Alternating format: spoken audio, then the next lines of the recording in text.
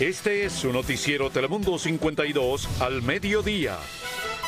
Ola de frío extremo azota el sur de California mientras fuertes vientos y alto oleaje también hacen sentir su fuerza. Recrudece la crisis migratoria en la frontera. Autoridades extienden una declaratoria de emergencia por el alto flujo de migrantes.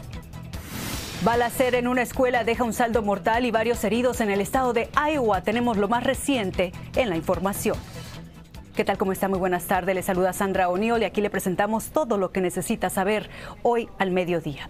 Y precisamente comenzamos con esa noticia en desarrollo. A esta hora las autoridades en Iowa siguen investigando la balacera escolar que esta mañana dejó al menos tres heridos y al sospechoso muerto. Se cree que esa persona se quitó la vida y podría tratarse de un estudiante del plantel. Se reporta que algunos alumnos se escondieron en los salones de clases durante el tiroteo y las autoridades dicen que las investigaciones apenas comienzan por supuesto. Ocurrido el lunes en Guajima, Japón.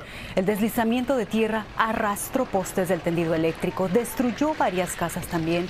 Las autoridades afirman que ese terremoto ha sido el más mortal que ha vivido Japón desde el año 2016. Y aunque hasta el momento no hay una cifra oficial de fallecidos, sí se suman más de 80 personas muertas. El sábado, los católicos de todo el mundo celebrarán el Día de los Reyes Magos y las panaderías y pastelerías ya se están preparando y están preparando esas tradicionales roscas de Reyes.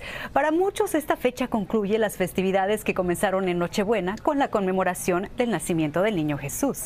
La rosca o roscón de Reyes se suele acompañar con un delicioso, delicioso chocolate caliente y prepárese si a usted le sale el muñequito porque entonces va a tener que preparar también tamales o comprarlos porque no para que los comparta con sus seres queridos en una fiesta el próximo 2 de febrero, el Día de la Candelaria, así es de que no se le vaya a olvidar y ojalá que usted también lo disfrute. Les saludo con mucho gusto, Sandra Unio.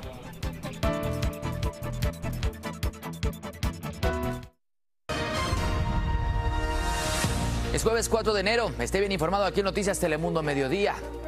En una noticia de última hora, un tiroteo escolar vuelve a conmocionar Estados Unidos. La